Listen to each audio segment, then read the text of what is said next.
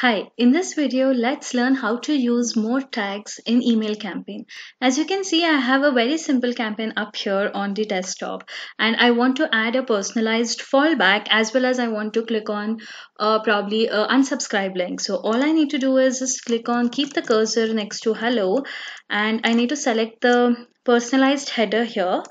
okay and give a comma and at the last of the email content I just need to click on more tags and click on unsubscribe. Now you can see that there are more other informations like web version two digit day of the month. So that is up to you if you want to uh, you know uh, select it across according to your